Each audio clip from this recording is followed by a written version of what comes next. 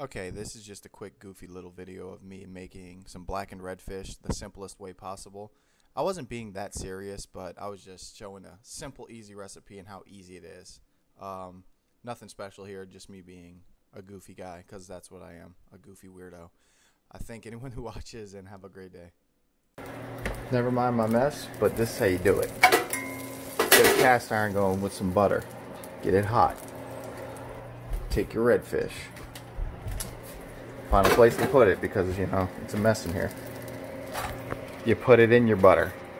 Keeping it real simple. Put it in your butter. Should have seasoned it before I put it in. But, whatever. Put it in your butter.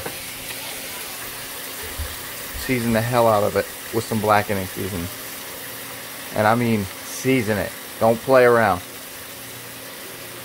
Can't put enough almost. Get it nice and crusted. May look like a lot, but it's really not. Alright, so boom. Right there. There we go. All seasoned up. We're going to let that go. Get it nice and hot. It should be hotter than this, but you know, not smart. Um, nice and hot for about, I don't know, three minutes turn it, do the same. I'll show you the final product. Alright, now the flip's coming. Give it a flip. Boom. Boom. Got kids screaming in the background. Doesn't matter. We're cooking. Well, let me turn them all before I do this. Get a little smoky.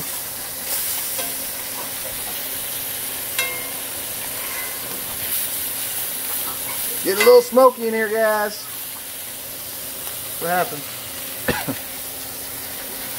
when you blacken some reds? Turn it.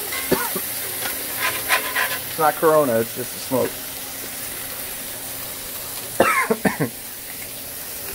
Alright, so that's done. Turn your fire down. Put a little more on each side.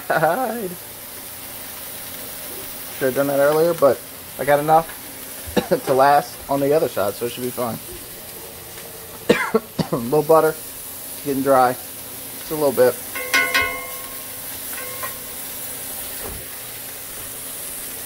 oh, this stuff is getting my lungs going. Alright, gonna let that go for a little bit and we'll show you where we're at. And there's your finished product. Now, it may not look beautifully beautiful, but it's deliciously delicious.